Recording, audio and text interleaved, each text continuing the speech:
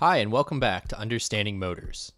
Last episode, we talked about how changing the way you perform PWM switching can affect the efficiency and dynamics of your commutation. However, the commutation schemes we've developed thus far are not the best methods of commutation we could use. But before we can jump straight to the ideal methods, we have to develop some tools so that we can better understand them. So, let's get into it.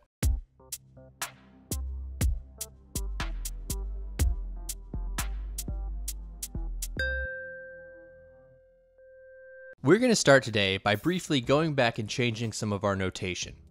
In episode 5, when we were talking about the magnetic field alignment method of torque, we learned that in order to maximize our torque produced in a brushless motor, we want our induced magnetic field to be orthogonal to and leading our rotor's magnetic field.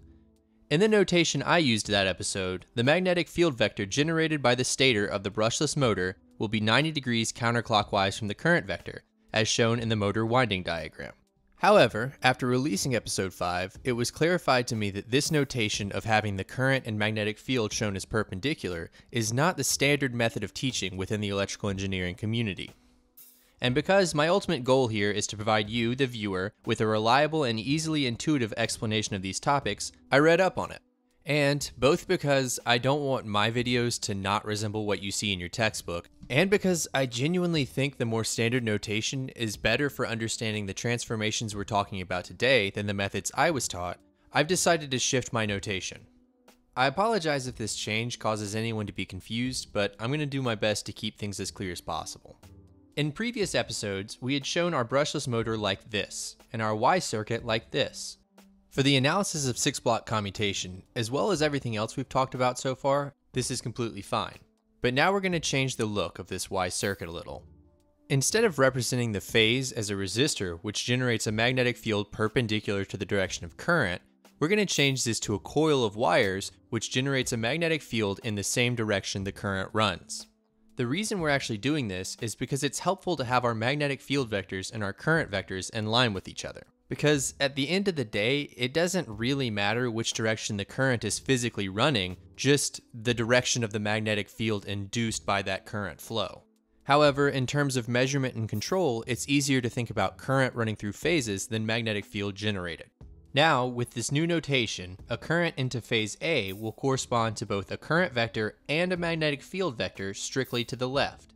A current into B will produce vectors 60 degrees south of east and C will be 60 degrees north of east. So, now that we've adopted this more standard depiction of the diagram, let's take a second to think about it. The first thing I want you to notice is that this is a two-dimensional diagram. I know that this is a completely obvious observation, but it's also a very powerful fact. Because our three-phase current and magnetic field vectors can be described on this two-dimensional plane, it's possible to describe the result as a 2D vector, and then we could theoretically generate any equivalent resultant vector from just two phases. And this is the idea behind the Clarke transformation. First implemented by Edith Clarke, who, by the way, was America's first professionally employed female electrical engineer, the Clarke transform describes the move from the A, B, and C windings to the alpha beta frame. We can largely derive this transformation geometrically, seeing that A points strictly in the alpha direction, B points in the negative cosine 60 alpha, sine 60 beta, and C points in the negative cosine 60 alpha, negative sine 60 beta direction. The Clarke transform also includes an external 2 thirds multiplier, and this keeps the vectors equal magnitudes on either side of the transformation. I find that this idea is not super clear at first, but a quick example helps to show why it's necessary. If I wanted to run 1 amp strictly from right to left through the three-phase diagram, it will go into A, then, because this is a balanced system which obeys Kirchhoff's current law, it would need to come out of B and C in equal proportions. If we sum this geometrically, this 1 amp sort of gets counted twice. It gets counted once on the way in through A, and then because of the geometry, it gets counted another half of the time when it's coming out through B and C. However, in our alpha beta representation, we're just talking about the actual current running in each direction.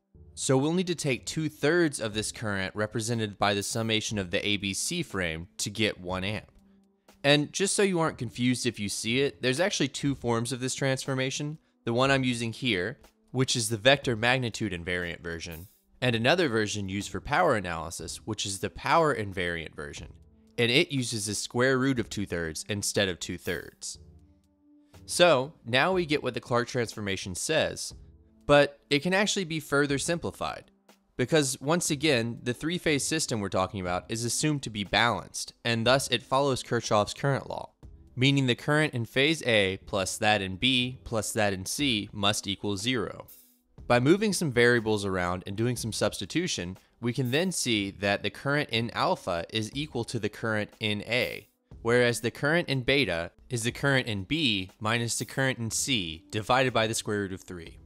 So now we can describe the direction of current and induced magnetic field using the alpha and beta axes, but it may not be immediately obvious why this is helpful. As we previously stated, inducing a magnetic field perpendicular to the rotor's magnetic field produces torque. Meanwhile, if we induce along the direction of the rotor's magnetic field, it will sum with the magnetic field of the rotor, thus either amplifying or weakening it. Well, we just showed how you can describe the equivalent induction of a three-phase motor in two directions. So now we're going to take this two-axis representation and analyze it from the perspective of the rotor. We will do this through what's called the Park transformation. We're going to start by creating another reference frame which will turn with the rotor. By convention, the axes of this frame are referred to as the direct or d-axis and quadrature or q-axis. The direct axis points in the direction of the rotor's magnetic field, whereas the quadrature axis is 90 degrees counterclockwise of it. So, a magnetic field induced in the positive q direction will produce a counterclockwise torque. Meanwhile, one induced in the negative q direction will produce a clockwise torque. Whereas a magnetic field induced in the positive d direction corresponds to strengthening the magnetic field of the rotor, and induction in the negative d direction will weaken the rotor's field. Since the dq axis keeps the same origin as the alpha beta axis, we can describe a transformation between the two as a simple rotation matrix. For those unfamiliar, this is basically just a matrix of trigonometric relationships which can take a vector or orientation described in the alpha beta frame and then describe it in the dq frame.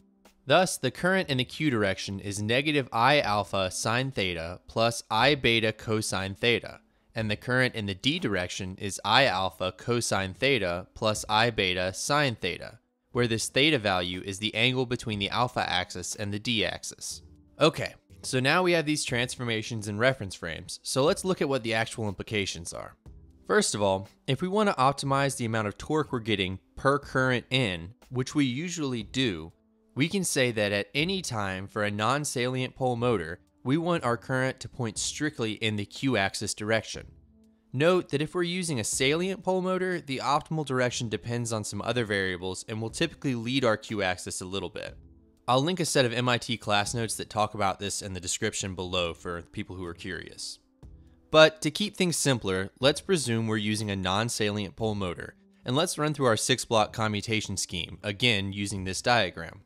Starting off in the center of Hall sector 0 and connecting our phases appropriately, we're initially perfectly aligned with the q-axis and are optimally generating torque. However, as we move across the remainder of this Hall sector, our direction of current is no longer aligned with the q-axis. Continuing on, we see that throughout commutation, we are only perfectly aligned with this q-axis at the very center of each Hall sector. And as we get closer to the edges of the Hall sectors, more and more of our current points in the plus or minus d directions. This causes the amount of torque we're producing to oscillate up and down, and it creates the torque ripple we talked about in an earlier episode. So now we have the Clarke and Park transforms in our tool belt. Next episode, we're going to take the ideas we talked about here and work towards developing a commutation method that will smooth this torque ripple out.